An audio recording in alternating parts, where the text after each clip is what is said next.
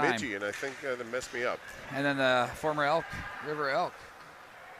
The one, there's one that everybody's going to forget. That's that's relatively recent that you've called right here at the Holiday Classic, Oh, sure. back at our My Fox days.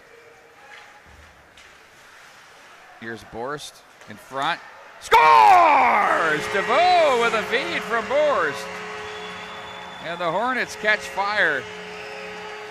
Take a look at this one on the replay right here. You'll see DeVoe. He'll be the late man in. There, just put the stick down, catch it, release.